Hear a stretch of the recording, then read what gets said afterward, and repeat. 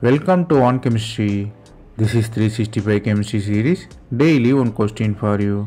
Here two types of compounds are given. You have to find which one has high pKa.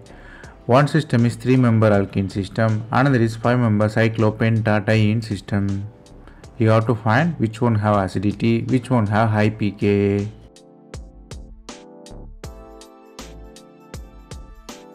Here the answer lies in the aromaticity. The aromaticity created by the intermediate. After loss of H plus ion, the first one which became anti-aromatic because of 4n pi electron. So it is anti-aromatic, highly unstable, it don't form at all. So it's least acidic and have high pKa. If you look at the second one, it form aromatic cation. So it will be very stable and it is aromatic due to the 6 pi electron. So it will be easily formed, it will be highly acidic character.